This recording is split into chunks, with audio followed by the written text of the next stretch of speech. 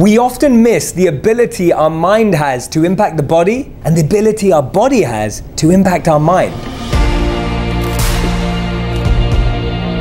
Hey everyone, this is Jay Shetty, and thank you so much for coming back to my YouTube channel. I really appreciate all the comments, all the shares, and all of the engagement that I'm receiving on these videos. I can't wait to keep creating more and more content for you.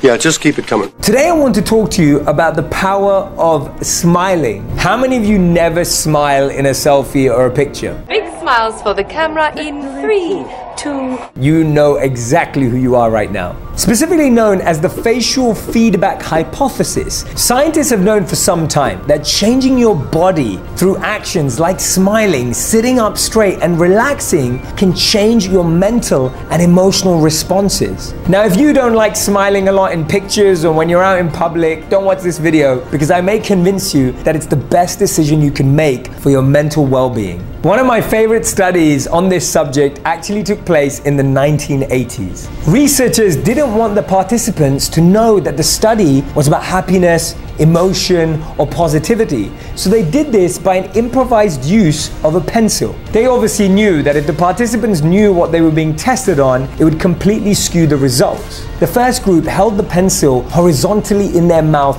between their teeth forcing them to have a smile. You can try it out at home right now. The second group held the pencil horizontally in their mouth, but just using their lips, which stopped them from smiling and actually caused a frown at moments. You can give that one a go too. The third group, or the control group, simply held the pencil in their hands. The participants were then asked to view cartoons and rate them on a funny scale. They were asked to say which ones made them laugh, which ones did they enjoy, and which ones left them feeling positive. The results were incredible. The first group, or the smile group, actually reported the highest responses that were positive and funny and hilarious. The second group, or the frown group, actually reported the worst responses of how much they enjoyed the cartoons. And the control group, which held the pencil in their hands, was somewhere in the middle.